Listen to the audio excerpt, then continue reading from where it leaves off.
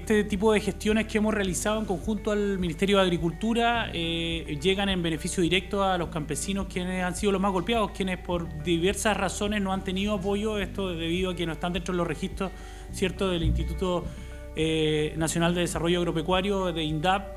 Eh, y eh, hoy día con estas gestiones que hemos podido realizar estamos llegando de manera directa a nuestros campesinos y campesinas, estamos generando un apoyo no tan solo en temas de la agricultura, del déficit de alimentos, también del déficit hídrico que se han visto golpeados cada uno de nuestros campesinos, sino que también hacemos gestión para poder llegar a todos los vecinos y vecinas del sector rural que lo han pasado muy mal. Así que el llamado va a ser siempre a que postulen. Eh, el municipio está haciendo gestiones, estamos trabajando en conjunto con el Ministerio de Agricultura en esto, agradecer el apoyo que hemos recibido.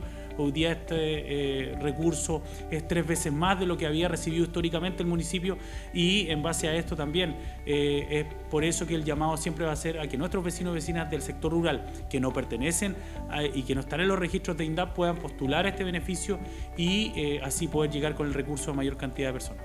Básicamente está orientado en alimentación animal, eh, un bono para compra o adquisición de concentrado, otro orientado a la producción de aves, que igual fue muy, golpeada con, con, la situación de déficit hídrico del verano, y un tercer y cuarto bono asociado más a la agricultura con la adquisición de un estanque para acumulación de agua y una motobomba para la extracción y conducción de, ese mismo recurso. Las inscripciones las iniciamos hace prácticamente dos semanas atrás.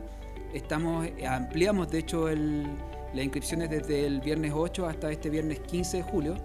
Eh, las inscripciones mencionadas Leonel las estamos haciendo en el edificio de Magallanes 283 de la Municipalidad de Coyhaique, en el cuarto piso. Eh, nos extendemos hasta el 15 básicamente porque la semana anterior tuvimos una contingencia climática, entonces Em, en conversaciones con el alcalde decidimos ah, extender un poco este plazo en beneficio de que las personas pudieran, pudieran llegar a, la postulación. Obviamente el proceso administrativo que viene después lo tenemos que acortar. Eh, nosotros creemos que deberíamos estar entregando en el mes de septiembre todos los insumos.